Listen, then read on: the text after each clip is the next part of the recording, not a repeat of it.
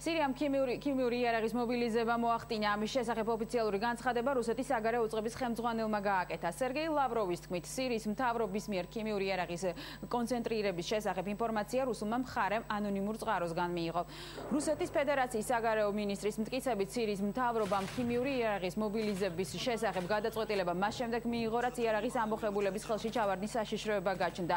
აღნიშნულ საკითხზე საუბრისას ლავროვმა სირიაში მიმდინარე პროცესებზეც გაამახვილა ყურადღება და განაცხადა, რომ შესაძლოა დასავლეთის ქვეყნები ბაშარ ასადის რეჟიმის წინააღმდეგ სამხედრო ინტერვენციას გეგმავდნენ.